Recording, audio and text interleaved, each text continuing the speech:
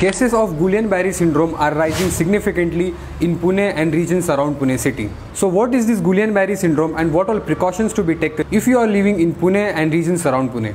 Guillain-Barré syndrome is a rare neurologic disorder in which our immune system attack our own nerves which leads to tingling and weakness of upper and lower extremity. In more severe cases, there is complete weakness of upper and lower extremity muscles along with respiratory involvement. So what all precautions to be taken against this? First and foremost is avoid eating outside. Secondly, drink boiled and filtered water. Also, wash your hand properly before having your food. Guillain-Barré syndrome is not a contagious disorder. It usually recurs within a month if given a proper medical and physiotherapy management. If you are feeling symptoms such as weakness of your upper and lower extremity, then immediately consult your medical professional in order to avoid severe complications such as respiratory distress. That was all from this video. If you find this video informative, do share this video with your friends who are living near Pune city.